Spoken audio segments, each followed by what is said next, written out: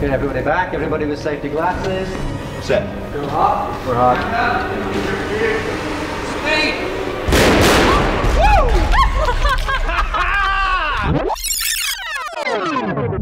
Recently, HasLab created this incredible replica of Jabba's sail barge through a crowdfunding effort, and our first thought at the Star Wars show was, how cool would it be to recreate the scene from Return of the Jedi and blow one of them up? Then we thought, hey, why don't we do it at the studio where that scene was originally done and bring some modern, high frame rate slow mo cameras? So that's exactly what we're going to do. Otherwise, it would just be laundry day. So this is better.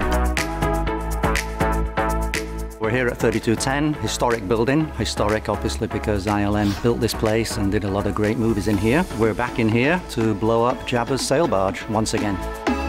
Historically, this is really significant because this is a picture of the original crew doing the original explosion, and it happened on our roof at this building. I built the original body. We called it Jabba's Pleasure Barge for Jedi. We had the Hero Barge, and Sean Casey molded that and cast really thin, fragile epoxy shells for pyro. The Hasbro model is a beautiful copy, but it's really tough, so it's hard to break. For these guys to try to blow one up is taking a lot of work. One of the things that's kind of interesting is it's ABS plastic. What we're doing now is taking it and pre-scoring and cutting away so that these areas will be able to control the breakage points. So when the explosion happens, it'll blow right through these openings. We're attempting to replicate the original as close as we can, given that we're at a different scale. The original model was blown up from back to front, and that's what we will be seeing today. Yesterday, we did a couple camera tests to dial in exposure and also size of the fireball and the spark element. After we popped that one off, we decided to dial down the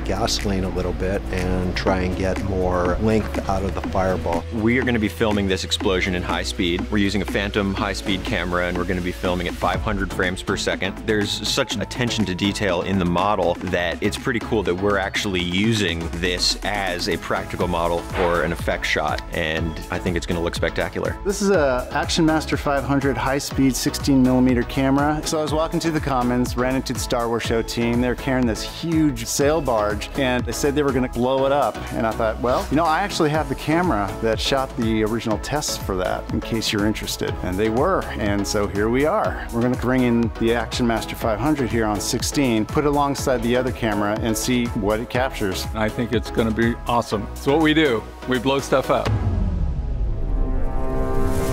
Everybody back. Everybody with safety glasses. Set. Go hot. Camera's armed. On you, Jeff. We're hot.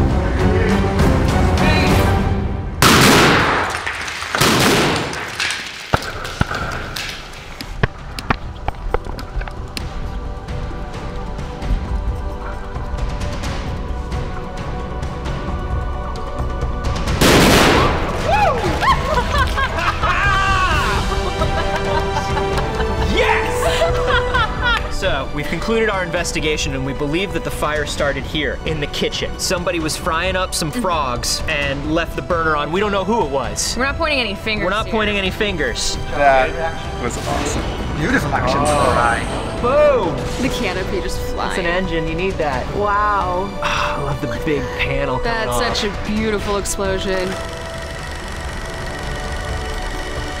That was awesome, wasn't it? It's great to have the Star Wars show here, recreating shots from 36 years ago. I just hope you come back and we blow up more stuff.